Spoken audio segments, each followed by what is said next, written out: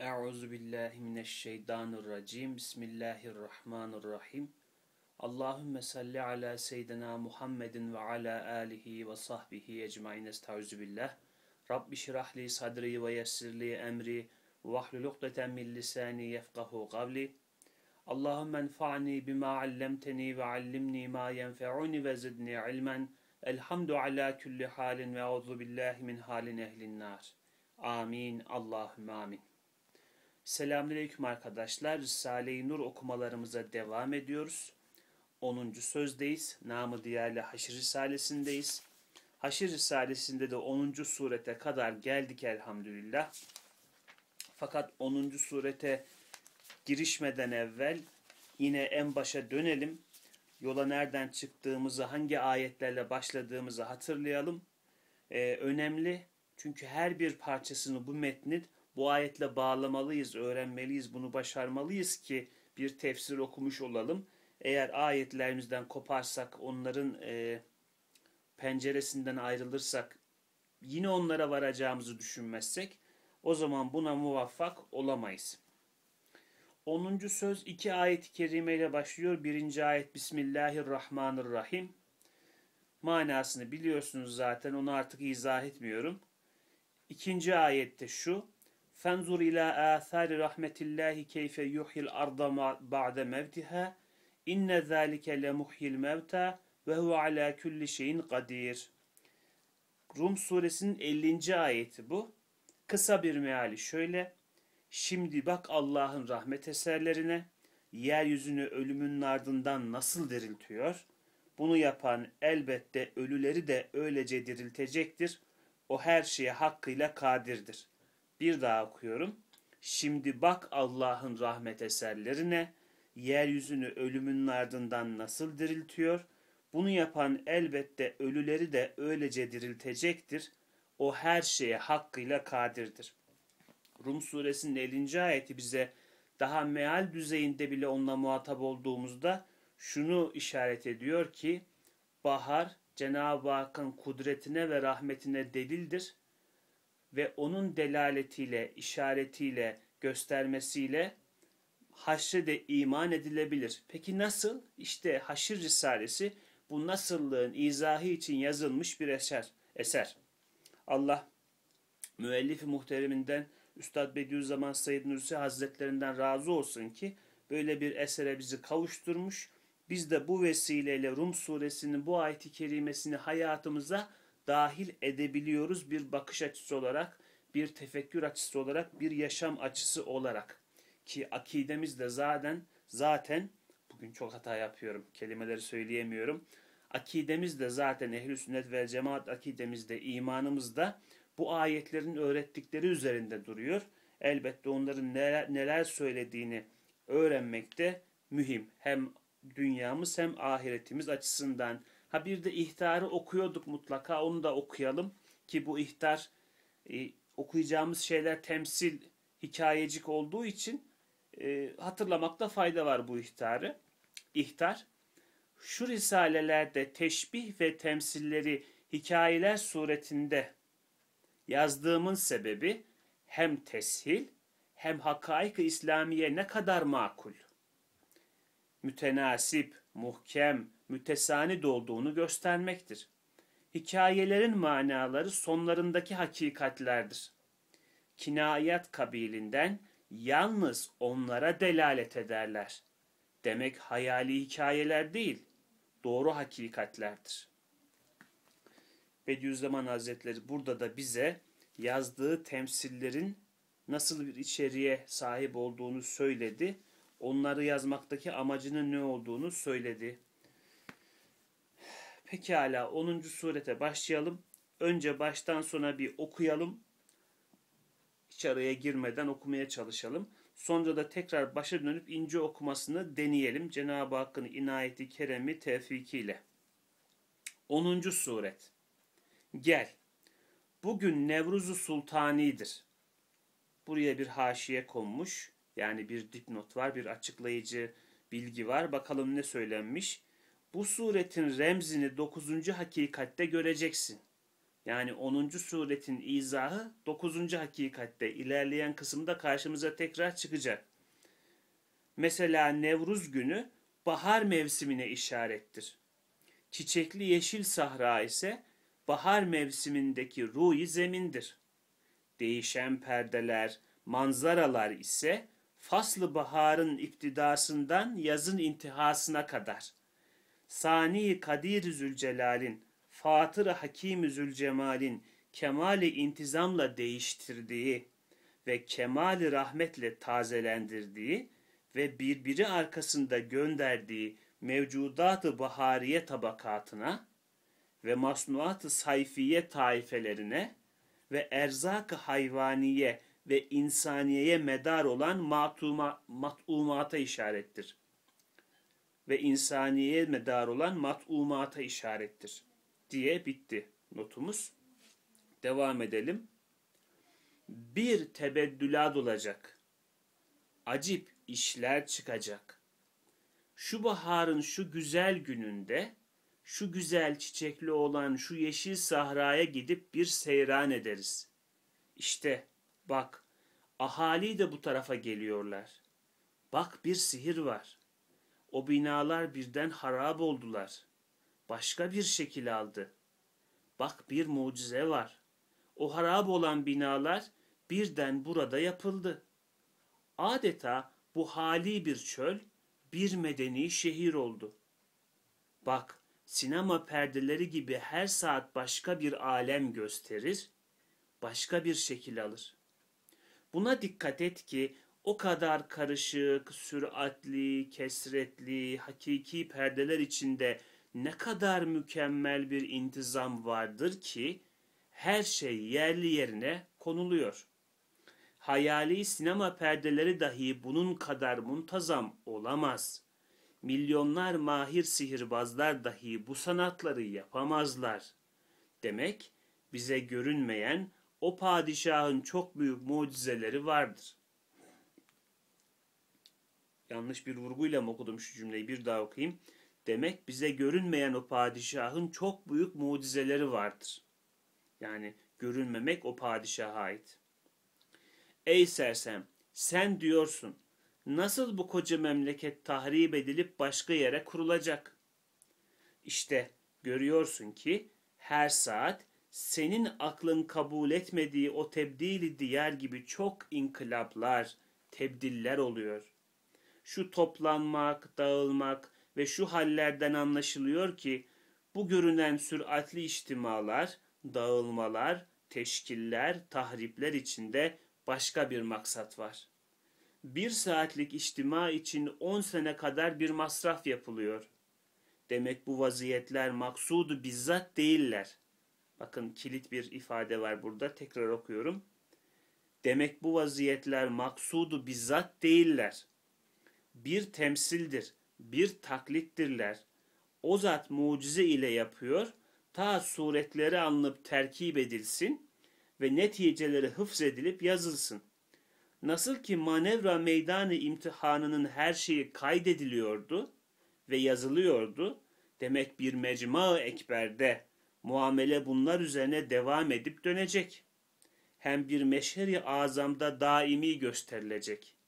Demek şu geçici, kararsız vaziyetler, sabit suretler, baki meyveler veriyorlar. Demek şu geçici, kararsız vaziyetler, sabit suretler, baki meyveler veriyorlar.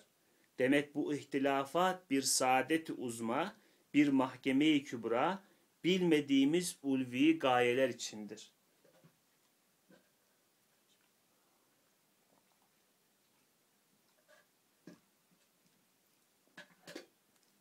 Evet arkadaşlar, görüldüğü gibi 10. suret bize yine dünyanın faniliği üzerinden ahiretin var olması gerektiğini anlatıyor, izah ediyor. Yalnız 10. suretin e, bana öyle geliyor ki diyeyim yine Allahu alem kaydıyla söyleyeyim. Şöyle bir farkı var diğer 9 suretten. Sanki burada şu izah ediliyor. Önceki suretlerde hep dünyanın faniliği anlatıldı, geçiciliği anlatıldı. İyi de bir soru gelebilir yani insanın aklına. Ya madem bunlar bu kadar geçici, bu kadar fani, ya Allah bunları niye yaratıyor o zaman? Tamam bu bunların asıl olmadığını söylüyorsunuz. Bunların üzerine Cenab-ı Hakk'ın saltanatının duramayacağını söylüyorsunuz. Daha başka bir makar lazım, başka bir payitaht lazım, daha devamlı bir memleket lazım diyorsunuz. O halde burası niye var yani? Burayı yaratmasaydı doğrudan orası olsaydı. Elbette bunun ilk minvalde cevabı e, imtihandır, sırrı imtihandır. Yani Cenab-ı Hak bunu murad etmiş hikmeti gereği. Bu dünyada bizi sınıyor. O sınanmaya göre paylaştıracak bizi cennete, cehenneme. Çünkü Adem Aleyhisselam'ın tecrübesi gösterdi ki insan tam olarak bekaya hazır değil. Yani belki bunu da söyleyebiliriz Adem Aleyhisselam'ın kıssası ile ilgili. İblis onları kandırdı değil mi cennetteyken? E, demek ki dünya tecrübesine ihtiyaçları var ki bir daha kanmasınlar. Yani bunu şu anlamda söylüyorum. O kıssayı bilenler bilir. Bilmeyenler için şöyle kısaca özetleyeyim. Adem Aleyhisselam ile Havva annemiz cennettelerdi. E, Cenab-ı Hak onlara cenneti bağışladı ama dedi ki bir tane ağaç var onun meyvesine dokunmayın. İblis onları nasıl kandırdı? Eğer o meyveyi yerseniz burada sonsuza kadar kalacaksınız veya işte başkaları diyor melek olacaksınız dedi falan filan. Böyle bir, bir şekilde onların hin soktu kafasına, hile soktu, vesvese soktu. Onlara o meyveyi yedirdi. Bu kıssanın geneli bize nasıl bir tecrübe anlatıyor? İnsan yeterince teslim olmuyor demek ki fıtratla sadece Cenab-ı Hakk'a. Ne demek istiyorum? Elbette doğrunun, güzelin, iyinin Cenab-ı Hakk'ın emrettiğinde olduğunu biliyoruz. İmanımız var. Ama bir de dilinin yanması diye bir olay var insanın. Yoğurdu üfleyerek yedirten bir tecrübe diye bir alan var. Yani insan sadece e, kendisine bildirilmesiyle bilen değil bir de aynı zamanda tecrübe etmesi gereken bir canlı. Tecrübe ettiği zaman imanı kemale yükselen bir canlı. Böyle bir tarafımız da var bizim. Mesela işte çocuğa dersiniz aman sıcaktır, dokunma, cıs olur falan filan. Çocuk siz bakarken tamam gibi yapar ama arkanızı döndüm elini atar veya işte dilini değdirir. Yandığı zaman anlar ki ha bak annem babam böyle dediği zaman cıs olur dediği zaman o böyle bir şey oluyor demek ki. Ondan sonra bir daha anne babası cıs dedi mi çocuk tamam yaklaşmaz yani. Veya demliği gördü mü sofrada veya bardağı çayla dolu gördü mü anlar hani bu tehlikeli bir mevzu benim buna dokunmamam lazım diye e, o tecrübeden hareketle bir dikkati olur veya tadını sevmediği bir şey, acılı bir şey, e, ona dokunan bir şey. Bir tecrübe yaşadığı zaman bunu yememem lazım der mesela. Onu tecrübeyle bilir.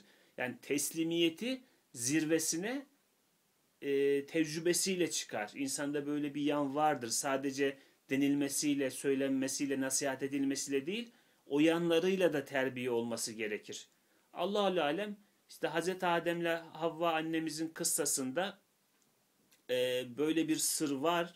İnsanoğlu cennetteki o tecrübesinden gösterdi ki hayatından orada geçen safatından e, olayların dünyaya gelip tabiri caizse burnunu sürterek öğrenmesi lazım. Cenab-ı Hakk'ın hayır dediğinin hayır olduğunu, şer dediğinin şer olduğunu bu imtihan aleminde bir görmesi lazım. Ve biz gerçekten bu dünyada yaşıyoruz. Görüyoruz ki bahtiyar olanlarımız ölmeden önce görüyor. Elhamdülillah Cenab-ı Hakk'ın lütfuyla, keremiyle, yine onun hidayetiyle ya evet Allah'ın emrettiğinde hayır varmış. Hayır mesela ayet-i kerimenin hükmüyle hayır Allah'ın seçtiğindedir diyoruz. Hasbunallahu ve ni'mel vekil diyoruz. Ona bırakıyoruz seçimlerimizi. Onu vekil tayin ediyoruz. Onun hak dediğine hak, batıl dediğine batıl diyoruz, iman ediyoruz. Bununla doğru yolu buluyoruz. Ama bir de bu imtihan gözünü açmayanlar oluyor. Onlar ne zaman öğreniyor? Onlar da ölüm geldiğinde öğreniyor. O yakin anı gel geldiğinde diyorlar ki eyvah ben ne yaptım? Malımı tarumar ettim, emeğimi zayi ettim, geçici zevklere aldandım, perişanım, baki bir şey toplayamadım. Anlıyorlar ama onlar da orada anlıyorlar. ve mesela kıyamet hengamesiyle ilgili, mahşer gününde yaşananlarla ilgili ayet-i kerimeler olsun, hadis-i şerifler olsun bize gösteriyor ki oradaki uyanışları zaten yani şok şok şok böyle sarsıcı bir şekilde uyanacaklar, fark edecekler ama iş işten geçmiş olacak. Cenab-ı Hak'tan hatta dileyecekler. Ayetler bunu anlatıyor. Ya Rabbi bizi bir daha dünyaya gönder. ibadet edelim sana. Biz ilk seferde başaramadık ama sen bizi bir göndersen biz bu sefer işi düzelteceğiz. Cenab-ı Hak da onlara buyuruyor ki artık geçti o iş. Cenab-ı Hak bizi onlardan eylemesin yani arkadaşlar. Bunun için ne kadar dua etsek azdır o pişmanlığın çünkü dönüşü yok. Bu dünyada pişman olursun, dönersin, hatanı telafi edersin, tevbe edersin yani. Telafi edemesen de en azından tevbesini edersin. Yanlıştı diye iş tayin edersin. Cenab-ı Hak eğer ihlaslıysan o tövbeden kabul edebilir. Ama orada bunun şeyi yok, çaresi yok yani. Cenab-ı Hak bu dünyada gözü açılanlardan eylesin bizi. Evet, bu meselenin bir tarafı imtihana bakıyor dedik. İnsan o teslimiyeti kazanması için Allah'ın hak dediğinin hak, batıl dediğinin batıl olduğunu delilleriyle tecrübe ederek öğrenmesi için bu imtihanı yaşaması lazım. Bu imtihanda gözü açılanların cennete layık, gözü açılmayanların cehenneme layık olduğunun ortaya çıkması lazım. O yüzden bu alem yaratılmış. İkinci bir şey, burada Üstad Hazretleri daha büyük bir resme bakarak bir hikmet izahı yapıyor. Şimdi özetini söyleyelim, incesini konuşalım metni incelerken.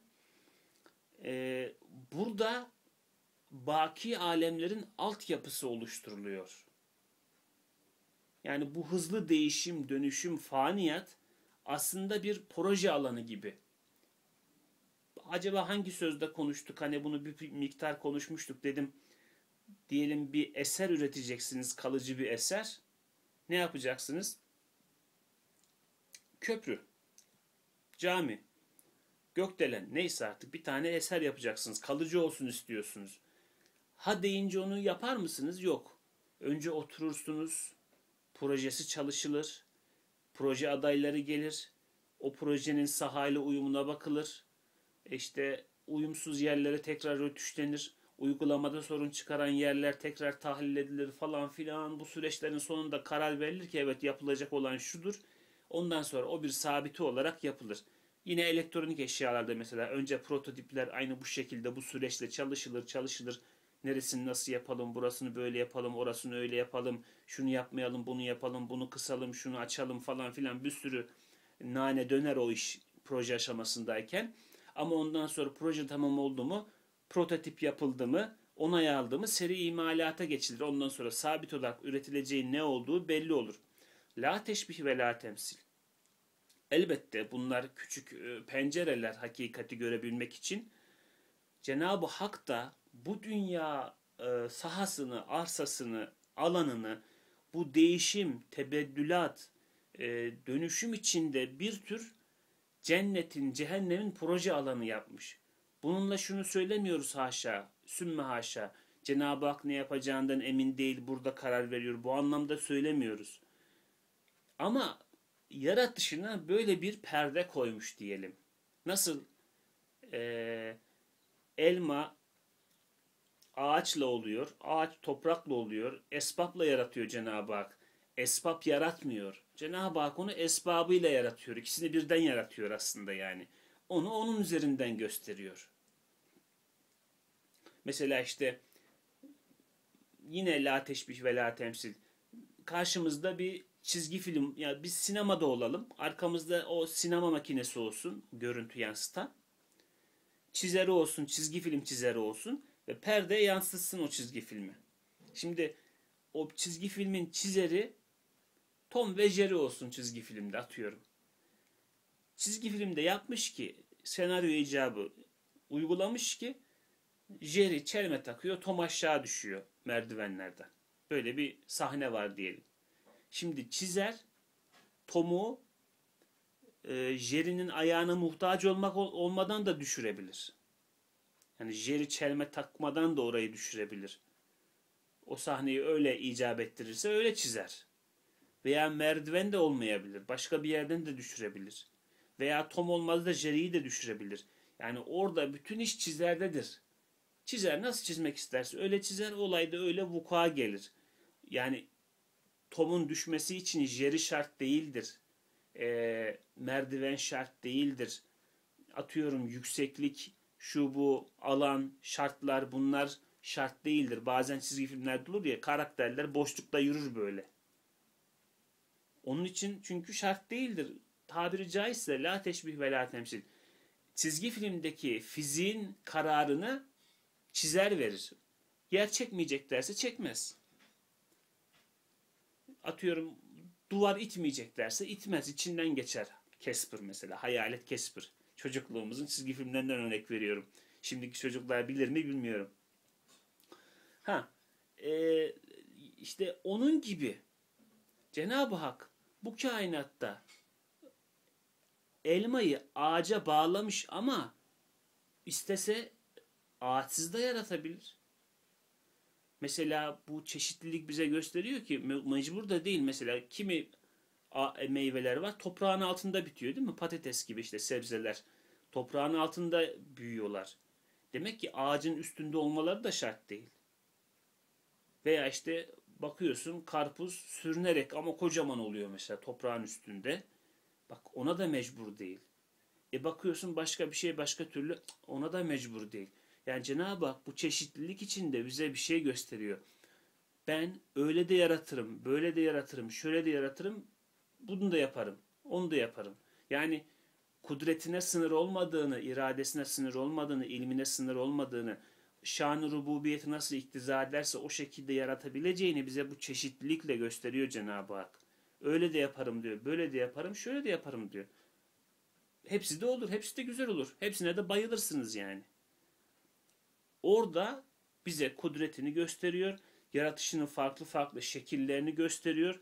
Biz orada o yaratılış şekillerini tecrübe ediyoruz. Cenab-ı Hak onlardan da öğreniyoruz, onlardan marifet ediniyoruz. Ee, koskoca ağacın üstündeki küçücük kuru cevizden de bir şey öğreniyoruz. Toprağın üstünde oraya sürünerek, dua ederek büyüyen kocaman Diyarbakır karpuzundan da bir şey öğreniyoruz. Bu bir tecrübe alanı oluşturuyor bizim için. Bir bilgi alanı oluşturuyor. Farklı farklı renkler öğreniyoruz. Bu kadar farklı bilgi ne için lazım? Sonsuz cennette lazım. Çünkü orada da biz bilmeye devam edeceğiz Cenab-ı Hak. Sabit surette ama. Burada değişenler orada sabit olacak. O zaman bu değişenlerin içinde o kadar çok çeşit üretelim ki sabite geçtiğinde o kadar çok malzememiz olsun. Nasıl yani? Mesela alışveriş sezonu var diyelim. La teşbih ve la temsil. Temsiller birbirini kovalıyor bugün. Bunu da verelim. İnşallah bir bakış açısı sağlar bize. Alışveriş sezonu olsun. Ondan sonra da 5 yıl size alışveriş yaptırmayacaklar. Bir ay alışveriş sezonunuz var. Ondan sonra 5 yıl alışveriş yapamayacaksınız. 10 yıl alışveriş yapamayacaksınız veya bir daha ömrünüzün sonuna kadar size alışveriş yaptırtmayacaklar. Nasıl alışveriş yaparsınız? O süreç ne kadarsa 5 yıl, 10 yıl, 20 yıl, 30 yıl neyse yetecek kadar çok şey almaya çalışırsınız. Çok şey denemeye çalışırsınız. Çok şey giyip çıkarırsınız. Şunu da alayım, bunu da alayım. Bak bir daha olmaz bu, şu da gelsin, bu da olsun falan filan. Niye? Orada sabite dönecek bu iş çünkü. Ne kadar aldıysan o kadar orada olacak. Ne kadar ayakkabı aldın o kadar giyebileceksin. Ne kadar elbise aldın o kadar çeşit giyebileceksin. Gibi gibi yine la teşbih ve la temsil. Bu dünyada da bu giymeler, çıkartmalar, açmalar, solmalar, gülmeler, ağlamalar, yaşamalar, ölmeler, fanilikler, değişim, değişim, değişim. Niçin? Baki alemde bir daha bunlar olmayacak. Bak bu dünyada mesela çocuk doğması diye bir hakikat var değil mi? Ama öteki tarafta çocuk doğmayacak artık. Öteki tarafta herkes sabit yaşta. Nesil devamı diye bir şey yok çünkü herkes orada zaten. Ha bu dünyada demek ki olması lazım ki insan sayısı artsın. Öteki, öteki tarafta sabite bağlanacak çünkü bu. Gibi gibi. İşte bu 10. surette sanki bunun bir şeyi var. Yani o soruya bir cevap var. Üstad Hazretleri ya madem bu kadar kararsız, bu kadar zevalli çünkü bir öncekinde mesela epey bir saydırdık bu fani aleme. Ne dedik mesela? 9. suretten okuyorum bu bölümü. Çünkü eserleriyle azameti anlaşılan şu muhteşem, zevalsiz saltanat böyle geçici, devamsız, bir karar, ehemmiyetsiz, mütegayyir, bekasız, nakıs, tekemmülsüz umurlar üzerinde kurulmaz, durulmaz. Demek ona layık daimi, müstekar, zevalsiz, müstemir, mükemmel, muhteşem umurlar üzerinde duruyor. Demek bir diyarı ahar var. Elbette o makarra gidilecektir dedik 9. suretin finalinde. Elbette bunu dedikten sonra o soru kafamızda oluştu. Ya madem bu kadar fena, kötü, kötü demeyelim de eksik, nakıs, kusurlu, geçici, kararsız, buradaki kelimeler ehemmiyetsiz, mütegayir, bekasız, tekemmülsüz. O zaman niye var burası? Haşa yani Cenab-ı Hak abesle mi iştigal ediyor? Burada böyle kendini boşuna mı oyalıyor? Haşa sümme haşa. Elbette değil. İşte cevabı 10. surette geldi elhamdülillah. Şimdi onu okuyalım. ince okumasını yapmaya çalışalım. 10. suret. Gel. Bugün Nevruzu Sultani'dir. Şimdi bu cümle de çok büyük tartışmalara sebep olur her sene. Ama hiç bu bahisle ilgisi olmayan bir tartışma. Üstad Hazretleri Nevruz'u Sultani demiş. Ne demek Nevruz'u Sultani? Nevruz Bayramı. Şimdi Nevruz Bayramı demiş diye Üstad Hazretleri bir kısım insanlar var diyorlar işte Müslümanların bayramı ikidir. Kurban Bayramı ve Ramazan Bayramı. E bundan başka bir şeye bayram olarak iman edilmez. Eğer bayram deniyorsa bu batıldır. Çünkü bu putperestlerin işte atıyorum mecusilerin şunların bunların bayramlarıdır bunlar diyorlar. Oradan işte nurculara da diyorlar işte siz bunlara bayram, Nevruz'a bayram dememelisiniz. Nevruz'a bayram demek bidattır. Bidata girmiş olursunuz falan filan. Onlar oradan söylüyorlar. Bu taraftan da nurcular diyorlar ki mesela nur talebeleri.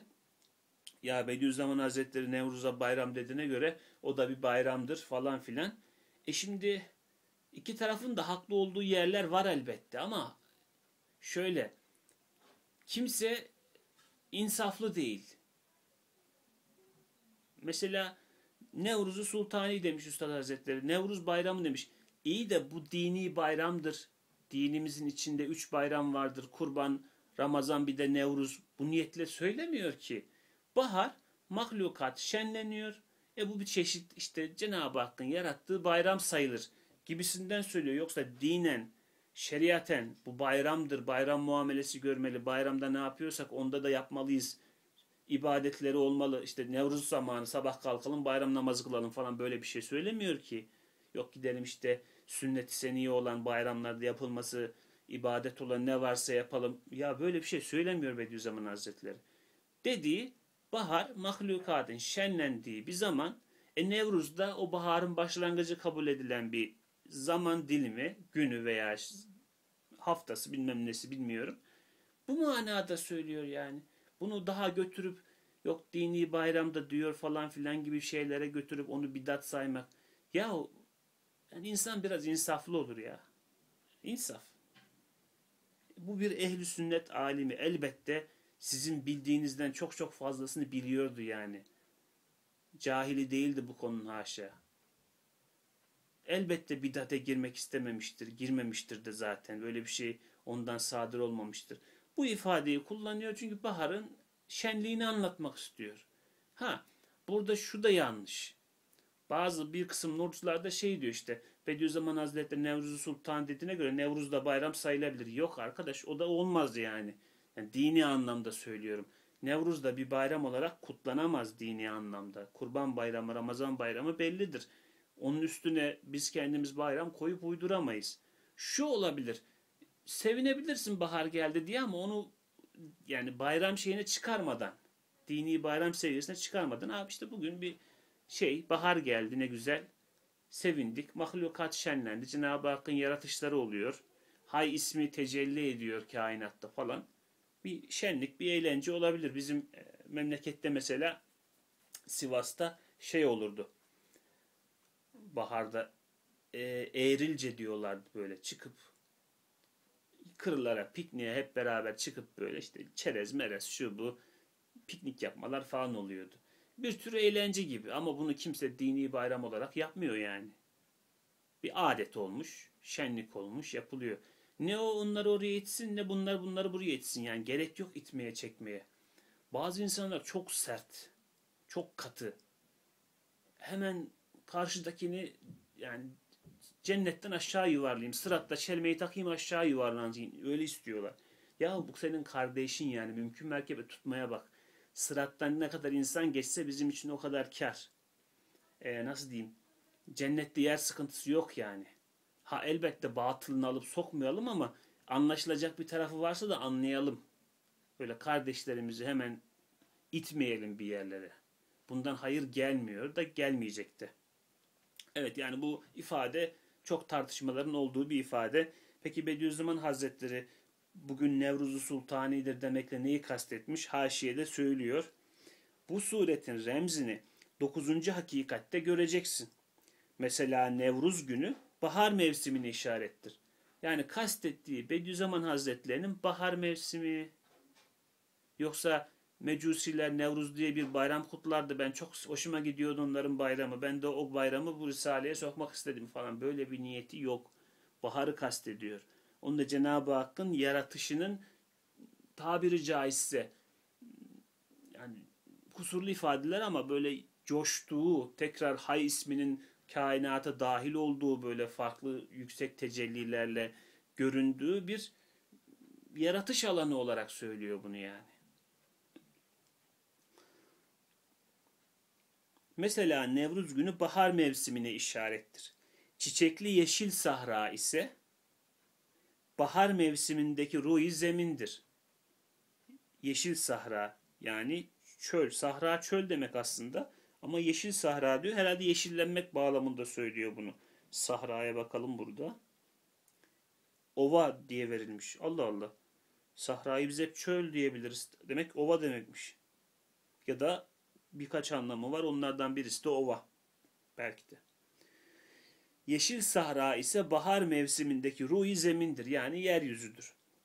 Değişen perdeler, manzaralar ise faslı baharın, bahar döneminin iptidasından yazın intihasına kadar yani baharın başlangıcından yazın sonuna kadar Kadir Sani Kadir Zülcelal'in faslı bahar ne demekmiş ona da bir bakayım öyle söyleyeyim size.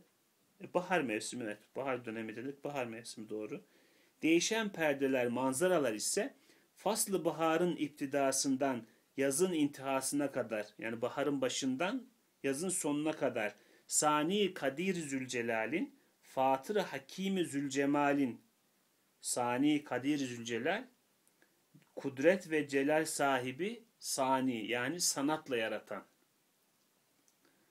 Kudret ve celal sahibi sanatla yaratan Allah. Fatır Hakimi Zülcemal ne demek?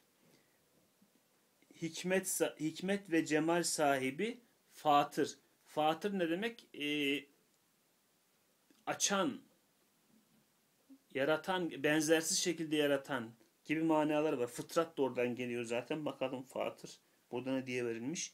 Sonsuz güzellik sahibi her şeyi hikmetle ve harika üstün sanatıyla yaratan Allah diye verilmiş. Harika üstün sanatı denmiş Fatır için. E yani biz fıtratları böyle açan, yokluktan çıkaran gibi bir anlamda biliyoruz onda. Bakalım bu ismi niye gelmiş buraya onu bir düşünelim.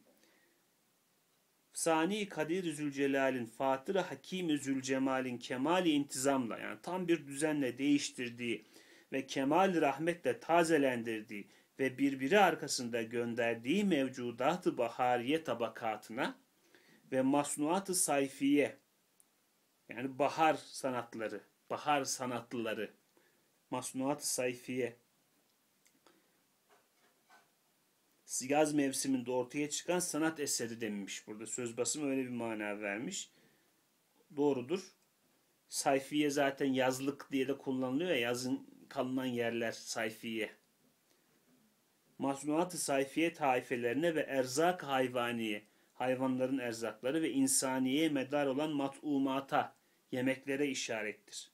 Yani değişen perdeler, manzaralardan bahis, bahis var ya burada. Bahis dedim, bahis bahis var ya burada. Onun kastettiği haşmet sahibi, kudreti her şeye yeten, celal sahibi Allah'ın sanatları ve cemal sahibi, hikmet sahibi Allah'ın fıtrat ortaya çıkarışları, açışları, yaratışları manasına geliyormuş ve onların işte ifade ettiği rezzakiyet hakikati var burada. Ee, onlara da atıf varmış. Bu değişen manzaralarda ve perdelerde. Evet. Benim aklıma şu geliyor. Acaba Saniye, Kadir Zülcelal, Fatır Hakim Zülcemal bunların zikredilmesinde e, detaylarda cemal gözüküyor, hikmet gözüküyor. O fıtratların ortaya çıkışında, benzersiz yaratılışlarda.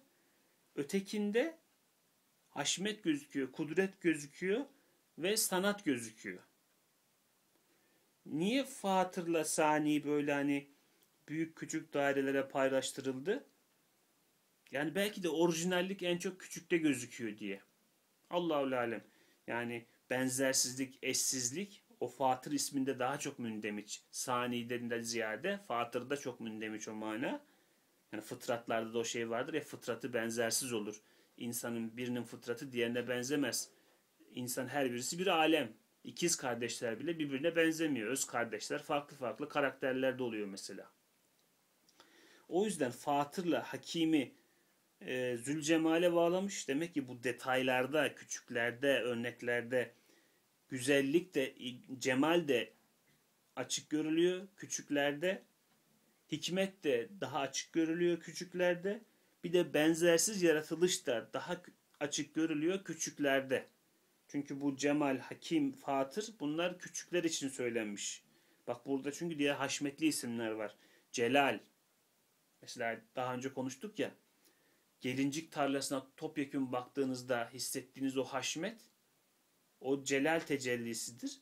Kek tek gelinciklere baktığınızda gördüğünüz o güzellik o cemal tecellisidir. Nevi de celalidir, fertte cemalidir. Mesnevi Nuriye'de Bediüzzaman Hazretleri söylüyor. Yani tek tek baktığınızda bireylerde cemal görürsünüz ama topyekun baktığınızda o türün haşmetinde, topluluğunda celal görürsünüz. Deprem de mesela çok çok güzellikler içinde barındıran bir hadisedir. Dünyanın dengesi, e, canlılığın devamı gibi gibi çok hadiselerin faydası vardır depremin. O dünyadaki o bize elim gelen hadisenin. Ama o güzelliklerin topyekünlüğünden dolayı, yaşanan e, yaratışın büyüklüğünden dolayı biz onu celal olarak müşahede ederiz. insan öyle görür. Çünkü geneli o kadar büyük bir değişim ifade ediyor ki onda celal var. Artık o bizi ürpertiyor tabiri caizse. Evet. Celal de, kudret de, sanat da demek büyüklerde gözüküyor, öbürü küçüklerde gözüküyor.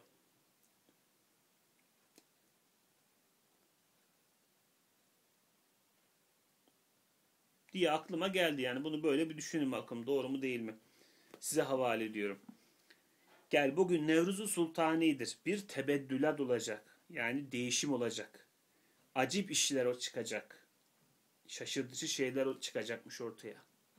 Şu baharın şu güzel gününde şu güzel çiçekli olan şu yeşil şu yeşil sahraya şu yeşil dedim ya. Bakın çok dilim sürçüyor arkadaşlar. Şu güzel çiçekli olan şu yeşil sahraya gidip dur bir daha su içeyim ben.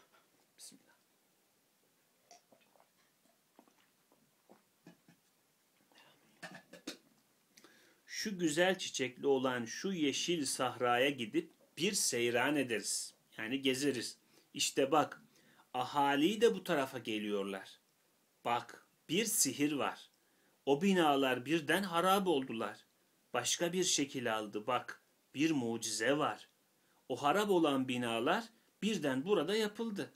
Adeta bu hali bir çöl bir medeni şehir oldu Bak sinema perdeleri gibi her saat başka bir alem gösterir, başka bir şekil alır. Yani baharı düşünün.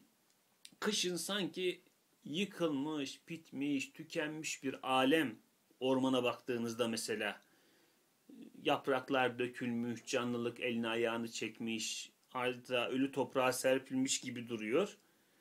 Bir bahar geliyor, o yıkılanlar bak diyor bir sihir var. O binalar birden harap oldular. Yazdan kışa geçiş öyle. Birden harap oldu hepsi. Ama sonra ne oluyor? Başka bir şekil aldı. Bak bir mucize var. O harap olan binalar birden burada yapıldı. Bak o yıkıldı, ötekiler yapıldı. Sürekli bak değişiyor mevsimler. O yıkılıyor, bu yapılıyor. O değişiyor, bu oluyor. Başka bir şekil aldı. Bak bir mucize var. O harap olan harap olan binalar birden burada yapıldı. Adeta bu hali bir çöl bir medeni şehir oldu. Kışın baktığımızda neydi? Şimdi yazın geldik. O şenlik, kuşlar ayrı ötüyor, böcekler ayrı ötüyor, hayvanlar koşuşuyor, tavşanlar, bilmem tilkiler, e, kurtlar, şunlar bunlar. Birden yani orası bir canlılık geldi oraya. Bir medeni şehir oldu. Bak sinema perdeleri gibi her saat başka bir alem gösterir, başka bir şekil alır. O bahar da mesela işte bizim bahçede iki tane ağaç var. Birisi kiraz, birisi incir. Kiraz bak durdu meyveye. Çiçeğini açtı. O bembeyaz kar gibi oldu ağaç. E soldu onlar. Şimdi taneler tutmaya başladı. Kızarmaya başlıyor hafif hafif böyle kenarından köşesinden. O gidecek. incir başlayacak bu sefer. O gidecek başka birisi. O gidecek başka birisi. Yani değişiyor sürekli. Sinema perdeleri gibi her saat başka bir alem gösterir, başka bir şekil alır. Buna dikkat et ki o kadar karışık, süratli, kesretli, çok yani hakiki perdeler içinde ne kadar mükemmel bir intizam vardır ki her şey yerli yerine konuluyor. Kiraz ne zamandır? Abi seneye de o zamandır. İncir ne zamandır? Abi seneye de o zamandır. 100 yıl boyunca yine o zaman olacak. 200 yıl, 300 yıl. İncir var olduğu sürece o zaman olacak. Bak mevsimleri değişmiyor hiç. Öyle mükemmel bir intizam vardır ki ok diyor bak şey o kadar karışık, süratli, kesretli, bu kadar çok canlı var, bu kadar çok tür var, bu kadar çok şey oluyor. Ama arkadaş o kadar mükemmel bir intizam vardır ki her şey yerli yerine konuluyor. Hepsinin düzeni belli. Ziraatçiler, tarımla uğraşanlar, bahçecilik yapanlar, şunlar bunlar biliyorlar yani. Biz o kadar bilmiyoruz o kadar yapmadığımız için o işi. Kenarından köşesinden işte gördüysek gördük.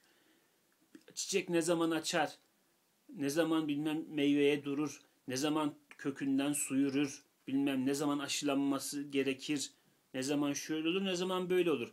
O ziraat dediğiniz bilgi alanı, biyoloji dediğiniz bilgi alanı size hep bunu söylüyor. Bu işte bir düzen var diyor ya. Şunu şu zaman yaparsan olmaz diyor. Bunu bu zaman yaparsan ama güzel olur. Çünkü ağaç o zaman onu istiyor. Ağaç da onu istiyor. Zamanını biliyor. O zaman yaparsan diyor faydasını görürsün ama mevsimini geçirdi mi daha diyor dokunma. Kaçırmışsın demektir. Ziraatçı dostlarınız varsa onlardan duyarsınız böyle misaller.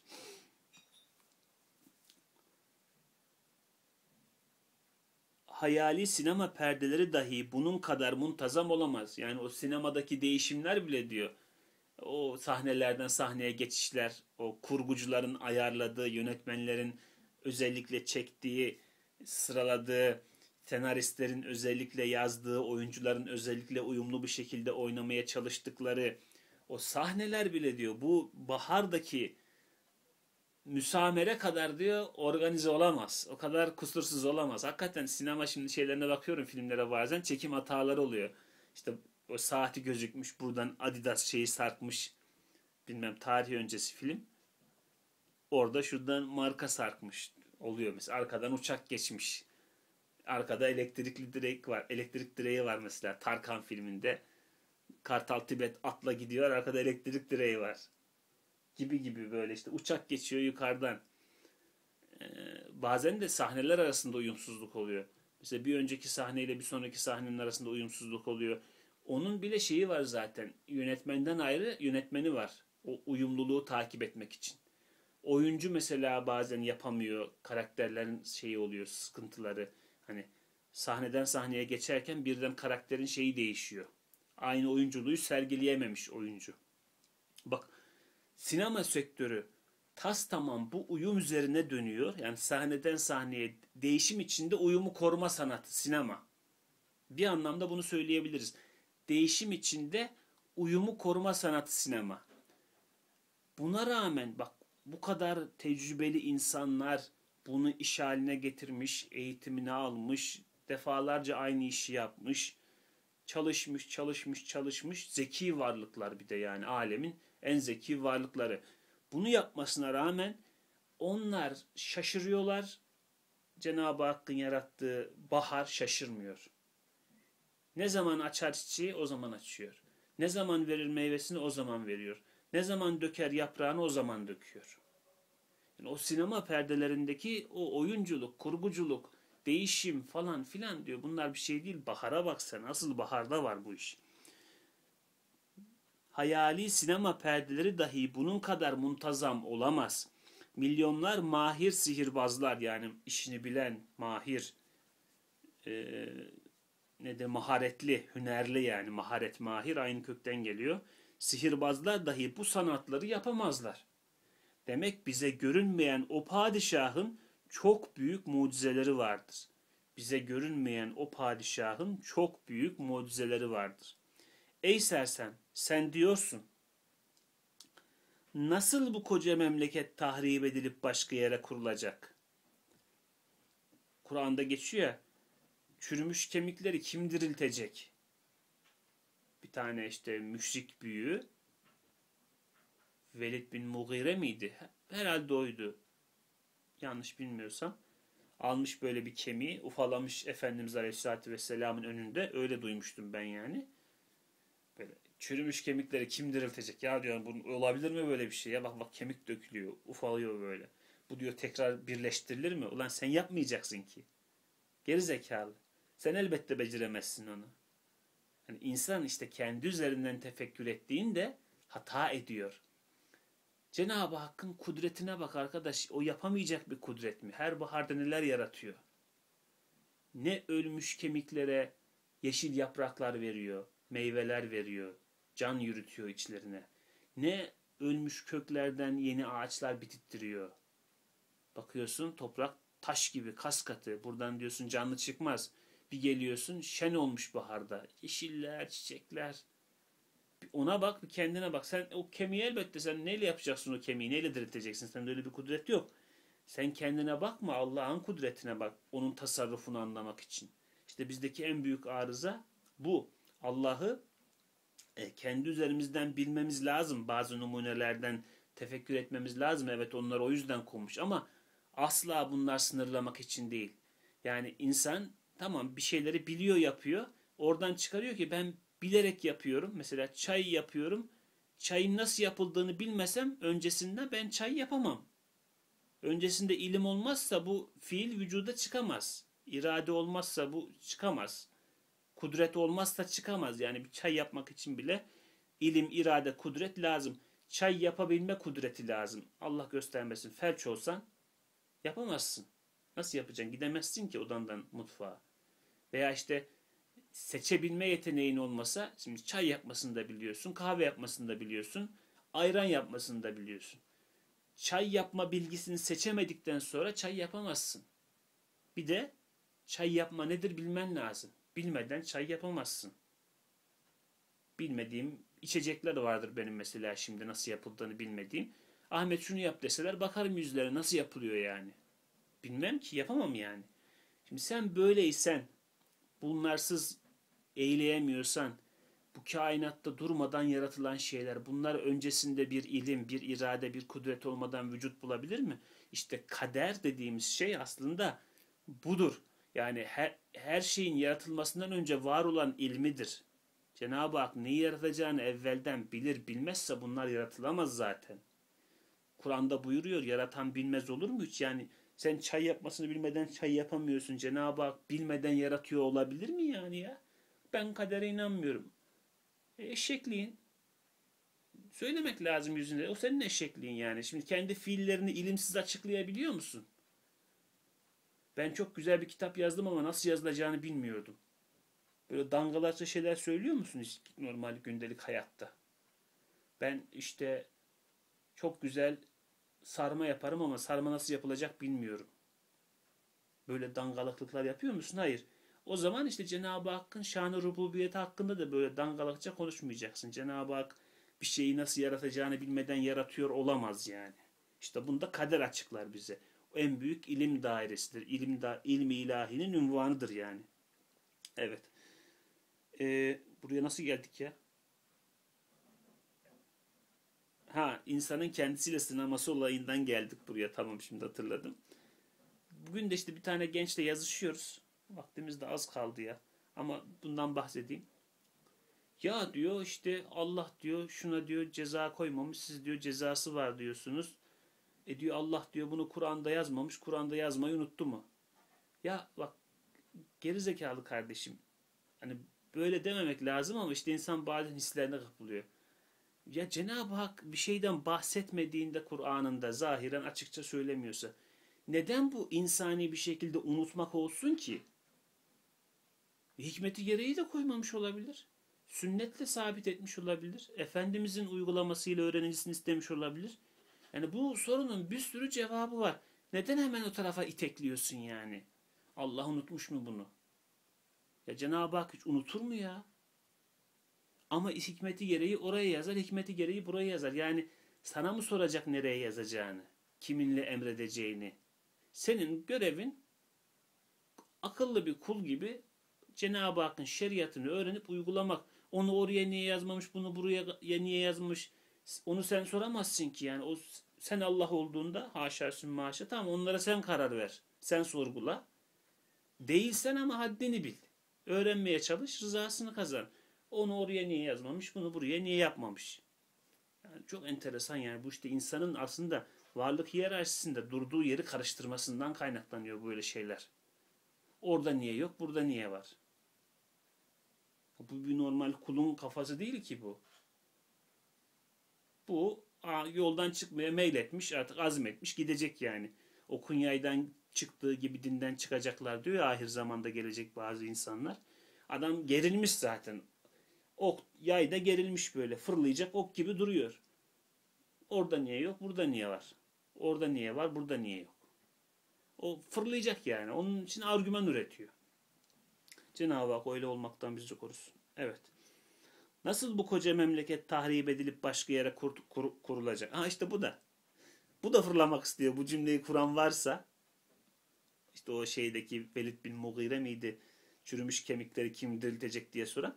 Fırlayacak abi gidecek bu.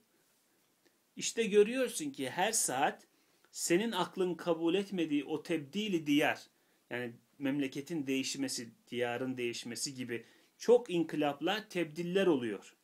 Şu toplanmak, dağılmak ve şu hallerden anlaşılıyor ki şu görünen süratli içtimalar yani toplanmalar, dağılmalar, teşkiller, tahripler içinde başka bir maksat var. Yani bu toplanma, dağılma, bu şeyler falan bunlar bir amaçla yapılıyor. Bu, bu işler öyle sıradan bir iş değil. Bir prova gibi.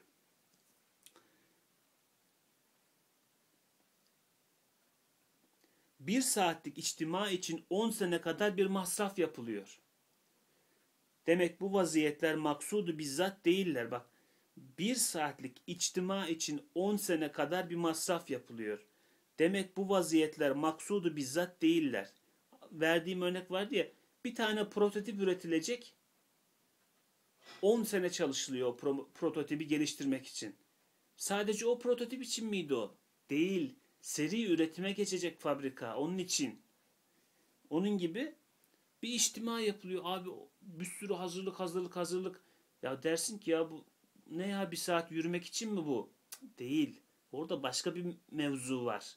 O içtimadan bir şey anlaşılacak gibi. 10 sene kadar bir masraf yapılıyor.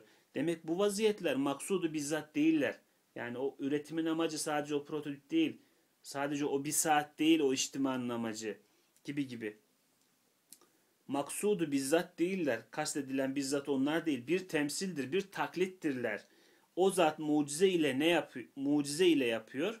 Daha suretleri alınıp terkip edilsin. Suretleri alınıp terkip edilsin, toplansın, arşivlensin, kaldırılsın neticeleri hıfz edilip yazılsın. Orada neler oldu neler bitti bunlar diyor hesaplansın. Nasıl ki manevra meydan imtihanının manevra meydan imtihanı yani tatbikat alanı. Ordu tatbikat yapıyor. Bunu düşünün mesela. Nasıl ki manevra meydanı imtihanının her şeyi kaydediliyordu ve yazılıyordu. Demek bir mecma ekberde muamele bunlar üzerine devam edip dönecek. Bak tatbikatta ordu bakıyor.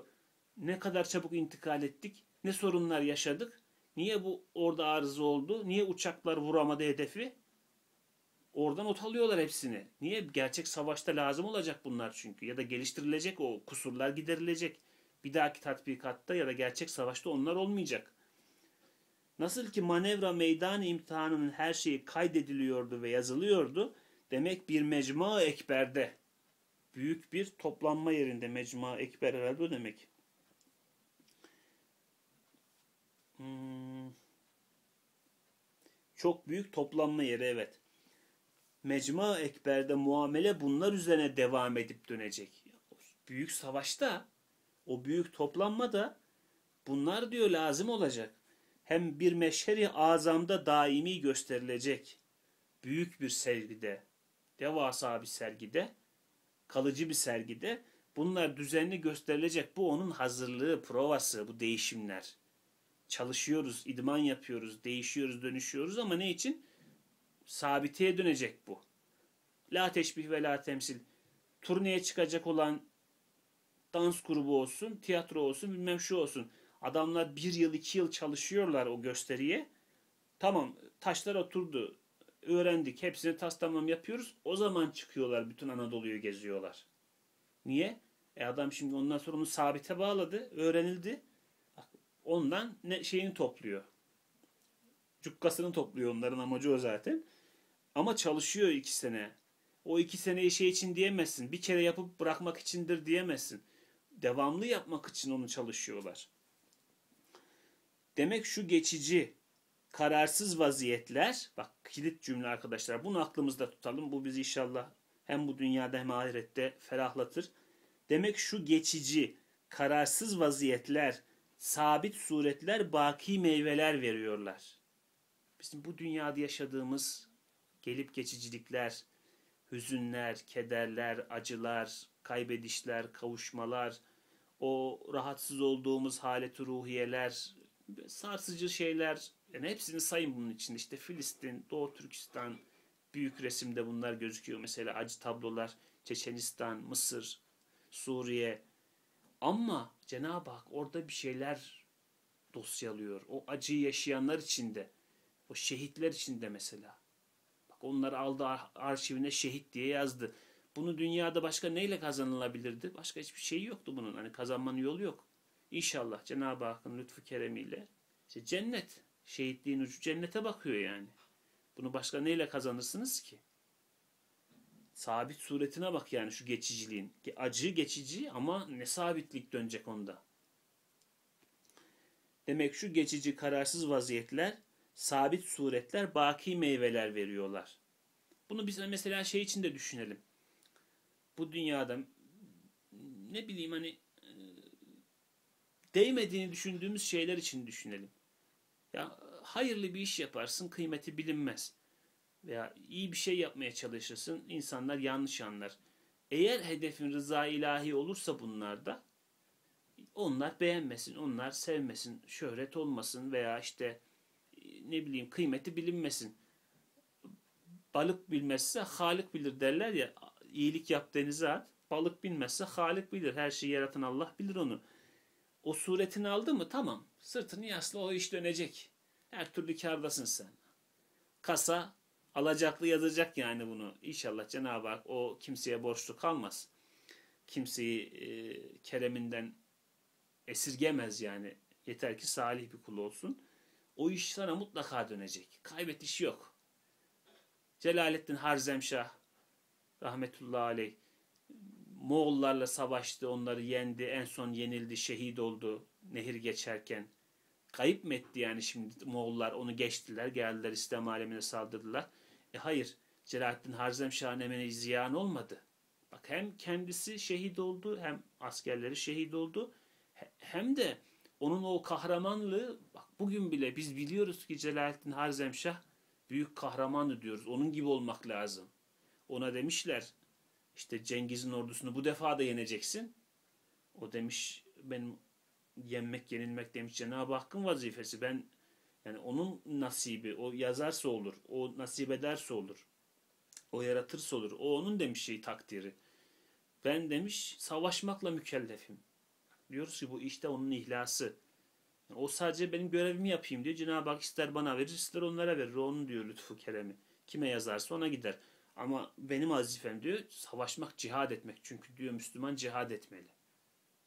Biz de böyle düşünmeliyiz diyoruz mesela. Bak o ziyan mı oldu şimdi? Ceddimiz bak gitmişler ta Viyana önlerine kadar. Sonra yenilmişiz, geri dönmüşüz. Bak şu an Anadolu'dayız. Ziyan mı oldu? Hayır. Onlar şehit oldular. Üstelik bize de bir miras bıraktılar ki diyoruz Viyana kapısına kadar gittik biz diyoruz mesela. Az bir şey midir yani bu özgüven? İşte ayaklarımızı yere sabit basmak. Ahirete iman bize bunu da kazandırıyor. Amelimize, gayretimize, ettiğimize, eylediğimize daha çok güveniyoruz. Yere sağlam basıyoruz ya bu ziyan olmayacak. Şu kadarcık bir çöp yerden aldım çöp tenekesine attım diyorum bu ziyan olmayacak ben bunu boşuna yapmadım. Dönecek sabit suret olacak cennette Cenab-ı Hak bunu sabit verecek bana. Burada elhamdülillah dersin orada elhamdülillah yersin diyor Üstad Hazretleri. Bak, sabit olarak dönecek çünkü o sana. Evet tabiri caizse vaktimiz kısalıyor. Şu son cümleyi de okuyayım. Demek bu ihtilafat bir saadeti uzma, bir mahkeme-i kübra, bilmediğimiz ulvi gayeler içindir. Hepsini bilmiyoruz. Ama şu kısmı bize açık. Bu değişimler, dönüşümler bir kısmımıza saadet kazandıracak. Ebedi saadet. Bir kısmıma bir kısmımıza ebedi helaketi hak ettirecek. Cehennem. Bunların değişimi bir mahkemeyi kübrada belirlenecek. E, sabitlenecek oradaki kararla. Ve bir de Cenab-ı Hakk'ın belki bizim de bilmediğimiz bu değişimden, dönüşümden, faniyattan bir amaçları var, hikmetleri var. Onu da Üstad Hazretleri ucu açık bırakıyor. Bilmediğimiz ruhi gayeler içindir diyor. Bir daha okuyayım bu son cümleyi. Demek bu ihtilafat bir saadet uzma, bir mahkemeyi kübra, bilmediğimiz ulvi gayeler içindir. Hepsini de bizim bilmemize gerek yok. Çünkü biz yaratmıyoruz. Yaratanın bilmesi lazım. Yaratan her şeyi bilir. İnsan kendisine ne kadar bahşedilse, ne kadar bağışlanırsa o kadarını bilir. Ne kadar bilirse o kadarını da sevinir. İnsana lazım olan bu kadar. Yoksa Allah kadar her şeyi bilmek Allah'a mahsustur. Allah olana mahsustur. Orada da haddimizi aşıp e, sınırı geçip e, halt etmeyelim yani. Bunu Üstad Hazretleri bize söylemiş oldu. Bir çizgi çekti oraya da uyarıcı bir işaret fişeği bıraktı. Peki arkadaşlar 10. surette elhamdülillah böylece konuşmuş olduk. Alabileceğimizi aldık. Elbette alınacaklar daha çoktur da bizim nasibimiz bu kadarmış diyelim. Cenab-ı Hak hepinizden razı olsun. Görüyorsunuz e, ahiretle beraber ele alındığında bu hayat gerçek anlamda yaşanılır oluyor. Ben öyle düşünüyorum. Şu işte 40 yaşıma geldim. Düşünüyorum arkama bakıyorum ne kalmış. Yani Allah için yapılanlar kalmış. Başka da pek bir şey kalmıyor. Yani o niyetle yaptıysan onun sureti alınmış, hıfzedilmiş, yazılmış. Tamam diyorsun bu beni bulacak. Ziyan olmadı bu. Bırakın onu. Hani yani Cenab-ı Hakk'ın rızasına yapılan zaten ziyan olmaz da mesela sabit işlerimizde bile şunu yapıyorum, bunu yapıyorum. Diyorum ki kalıcı bir amaçla yaptığım daha çok kalıyor. Amaçsızca yaptıklarımın arkası yok. İşte günde şu kadar kitap okuyayım. Bunda tek amacım rıza ilahi olmayabilir. Mesela atıyorum iş için de ben bunları okuyor olabilirim. Ama bir amaca bağladığım zaman onun dönüşü oluyor bana. Ama amaçsız da şöyle bir iki saat kafama göre sallanayım, internete takılayım falan filan. E bakıyorum elimde de bir şey kalmamış. Bak bu faniyat üzerinde bile görüyorum ki amaçlı olan, niyetli olan, hedefli olan şeyler ötekilerden daha kalıcı ki en büyük hedef, en büyük gaye, en büyük maksat, en büyük ihlas ahiretledir, ahirettedir. Rıza ilahi iledir yani onu kazanmak iledir. Onu hedeflediklerimiz neden sonsuzluğa dönüşemesin? Daha bu dünyadaki faniliklerin bile ömrü niyetle değişiyorsa öyle büyük bir maksada yönelmiş niyetin hedefi neden sonsuzluğa ulaşamasın, vardırmasın diye aklımıza geliyor. Allah hepinizden razı olsun. Subhaneke la ilme lena illa ma allamtena inneke entel alimul hakim ve ahru da'vahum elhamdülillahi rabbil alemin. El Fatiha.